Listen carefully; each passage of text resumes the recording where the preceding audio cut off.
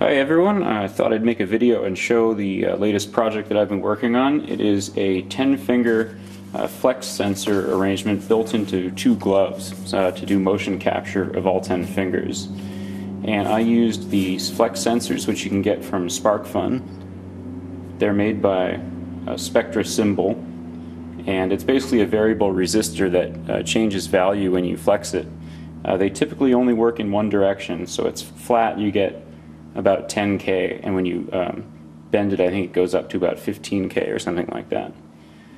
So what I've done is I've mounted them on these gloves. These are uh, Under Armour brand the Yard 2, which I selected because these uh, they're, they're batting gloves, uh, and I selected them because the uh, they have sort of like a two-ply construction. So the outer layer is like this synthetic leather, and the under layer is a a cloth sort of liner on the inside of the glove. So it makes it easy to cut little slits in the leather and then insert the sensor through.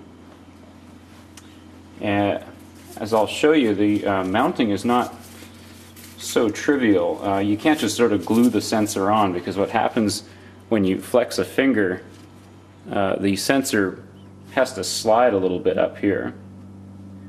And so if you fix the sensor down throughout the whole finger length, uh, it's just going to break or it's going to be very difficult to flex the finger because it, it, needs to slide up here. So what I've done is I've uh, used a needle and thread to fix the base of the, the bottom of the sensor to this synthetic leather coating and the rest of it is just um, threaded through the, the glove material here so it can slide pretty easily. So this is, it allows quite a lot of dexterity. Uh, you can actually you know, work with things pretty much normally. And uh, the glove doesn't really restrain very much movement. It's still pretty easy to operate things. Uh, each of the 10 flex sensors is connected to a negative 5 volt source, which is generated in this little monolithic uh, 5 volt converter here. I'll put some details up on those.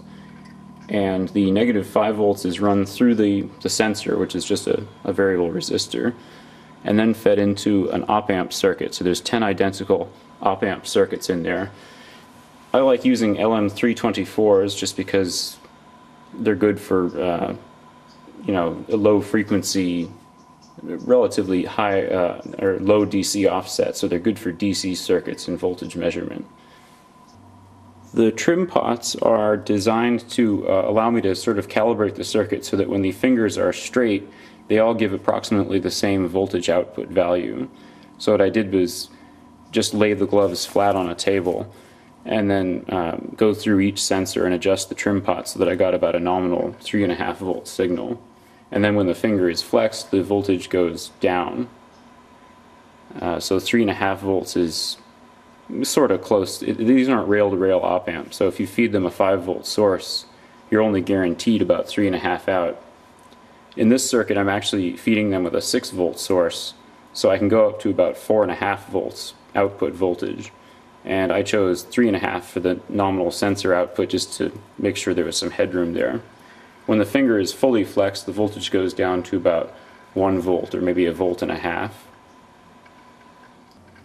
The 10 individual analog voltage signals from the op amps are connected to a National Instruments USB 6210 which is uh, just an analog capture device and it makes it easy to get raw analog voltages into a computer.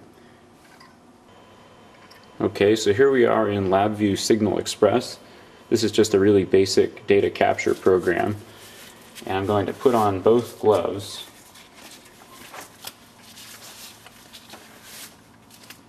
Okay, and so now the uh, upper graph has five traces on it and so I'll, I'll, close my hand and you can see all the traces on the upper graph and I'll open my hand again. Uh, the traces move up and down like this. And this is each finger moving. So you can see the different color for each finger. And here's the other hand. The lower graph is the right hand. So we're getting a, a, a signal swing from about 3.5 volts. And if I close my hand completely, I get about a volt and a half or 2 volts on one finger. That's the thumb it looks like. The bottom graph is a, an auto-scaling uh, graph just to show kind of the noise on one of these lines. I've, I've set the top two graphs not to auto scale, so it's hard to see the noise, but it's easy to see the signal there. If I stop, if I took off the gloves, you can see on the bottom here it's moving from about 3.487 to about 3.49. So really, uh, 8, 9, it's, it's really only uh, oscillating by a few millivolts, or pretty much the resolution of the, of the digital analog converter, or the analog digital converter. So that's very good. So I don't have an actual application for this yet. This is a project for someone else, and they're going to use the data from the National Instruments uh, software for another analysis. But I think this really could be used for a lot of different things, including uh, you know virtual reality and the obvious sort of video game controls. Uh, they're fairly solid gloves. There, there's a little bit of a problem with these sensors sticking out the front. Um, so if you're repeatedly picking up objects, that might be an issue. But other than that, it leaves the palms totally open, and it really doesn't restrict movement very much. You still retain a lot of good dexterity.